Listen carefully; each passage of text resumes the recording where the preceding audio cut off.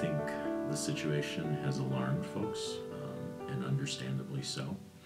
Um, But I think folks know that um, everyone here at school has the safety and the well-being of the students of our district, their children, uh, first and foremost on our agenda.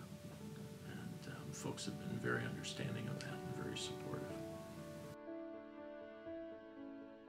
I, I think the most important piece is that, um, you know, while there are some details that we can't share, um, student, you know, student privacy laws and, and an investigation, um, and a legal proceeding here, um, that's underway on different levels and by different organizations.